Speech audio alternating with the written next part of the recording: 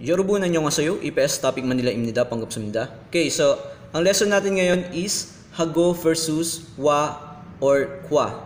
Okay, so kailan natin ginagamit yung hago at kailan natin ginagamit yung wa and kwa. So, ano yung pinagkaiba nila? Ano yung pagkapareho nila? Pag-uusapan natin yan dahil yan ang lesson natin ngayon. So, both hago, wa, and kwa are same translation in English. It means and or with. So, kailan natin ginagamit si hago kapag ang gusto nating gamitin is and. At kailan natin naman gagamitin sila kapag gusto naman natin gamitin yung with. Okay? So, magkaiba sila ng paggamit. Okay? Kung ang gagamitin mo is hago and and yung English translation, ibig sabihin, i-connect mo siya ng dalawang noun. Yan. Ibig sabihin, magiging end yung meaning ng hago kapag dalawang noun ang kinonek mo. Okay? So, connector siya ng dalawang noun. Same sila ng wa and kwa. Okay? So, panghago, kwail. So, i-attach mo yung hago sa isang noun. Kailangan kadikit siya ng isang noun.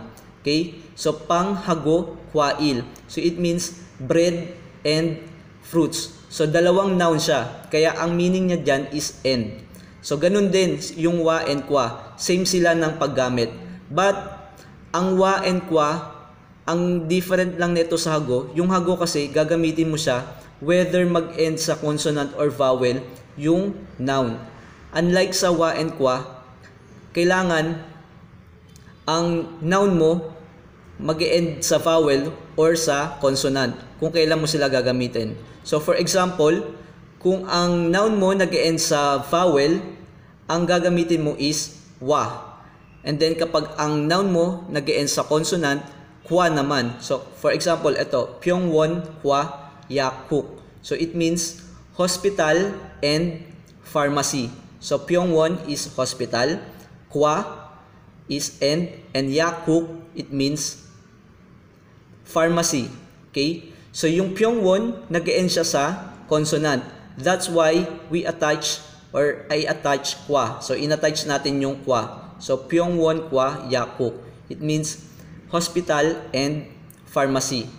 Okay? Kung wa naman, so for example, panana, yan, pananawa, pananawa, pang. So banana and bread.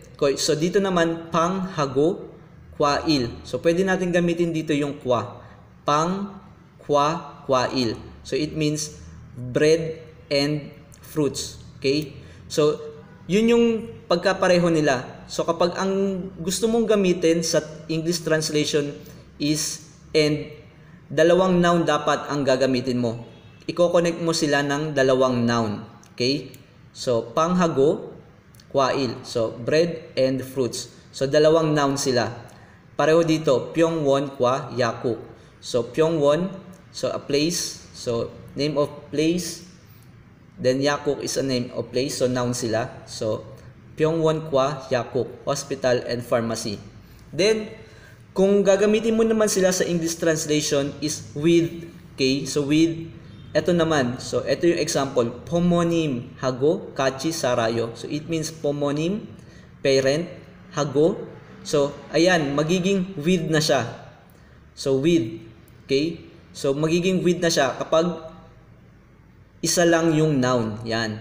Magiging with ang meaning ng hago at ng wa or kwa kapag isang noun lang yung ginamit nyo.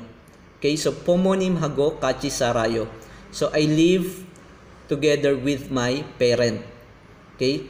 So, tandaan nyo, ang end, gagamitin nyo ang hago and wa and kwa kapag ang meaning niya and is dalawang noun. So dalawang noun ang gagamitin nyo kapag ang gusto nyong translation sa English is and. Pero kapag with naman, isang noun lang yung gagamitin nyo. So for example, pang, panghago, mogoyo. Parang I eat with bread, parang ganon. Okay, so then or um chingo hago, yan, chingo hago pangul mogoyo. So, I eat bread with my friend. So, ganun. Okay?